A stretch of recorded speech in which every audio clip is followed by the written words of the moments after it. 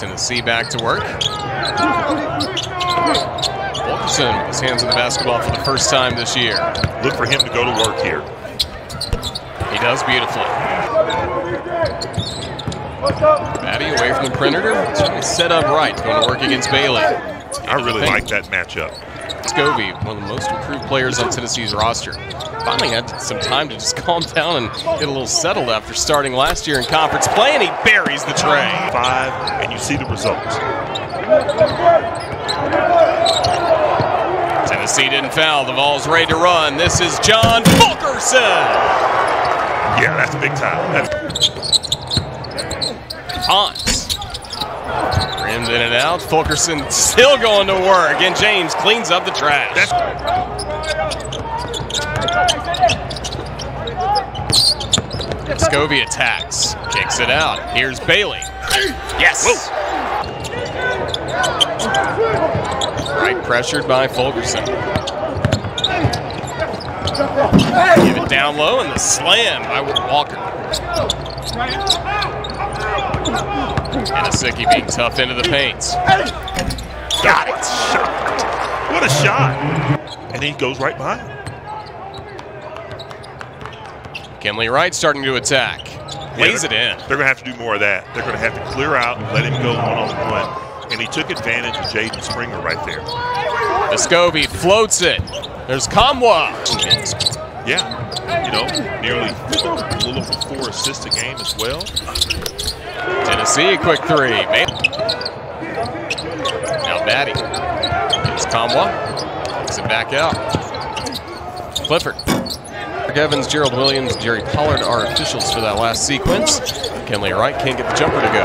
Keon Johnson defended uh, uh, uh, Wright much better than Jaden Springer. How about Victor Bailey? Three-minute scoring draw for Colorado. Horne ends the drought. Battey sticks and gets the rebound. That's what Colorado has to do. Yeah, they need those second chances right now to kind of get themselves back in the game. He fights and scores. What a possession there for Evan Battey. And Tennessee really wants to be. They want to get out and run and score in transition because when they're stagnant, and, and again, this 2-3 zone has made them stagnant. Pons ends the drought. This is the action they want there with McKinley. Finds Barthelemy. Buries the three. Is playing a role because they're not getting up quite as high. Moves by Horne. And he'll finish.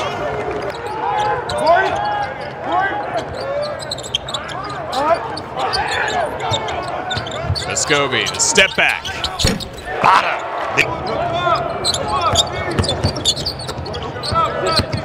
Barthelemy, nice kick back to Daniels. Got it. One game here in Knoxville. Tennessee's led from the get-go in this one. Fulkerson puts it in. Need that. You know, if, if, if Kenley Wright.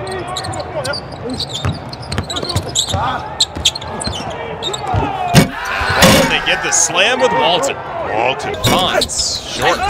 Every one of Pons' shots has hit the front iron. Every one of them. Barthelemy with a slam. Two-point game. Now Tennessee trying to end an over three-minute scoring drought. Vols have missed their last four shots. Johnson does not miss here. No, no, we, you know, we for the Big Orange. Here come the Vols.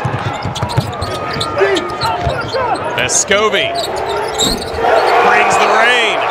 What Tennessee wants to do right there. Horne the rebound. Again, you, you're just not quite sure that that's EJ's range right now. Horne. Yes. What to have to do if he plays at the next level? He's going to have to put the ball on the floor and go buy something.